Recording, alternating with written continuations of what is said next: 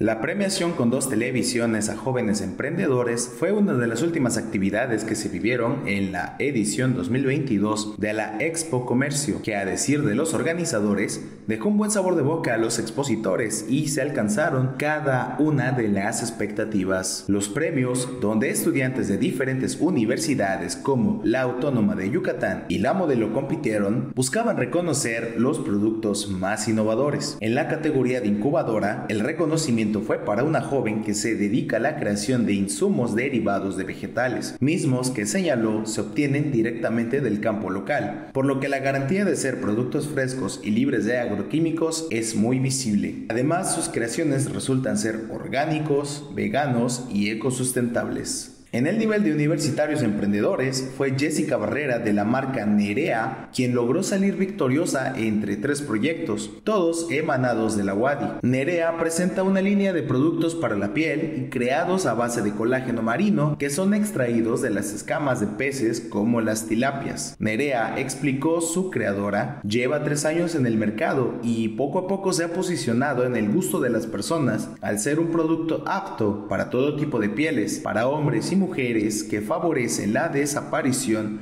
de las líneas de expresión y las manchas de piel. Con imágenes e información de Ricardo Cervantes, Noti 13.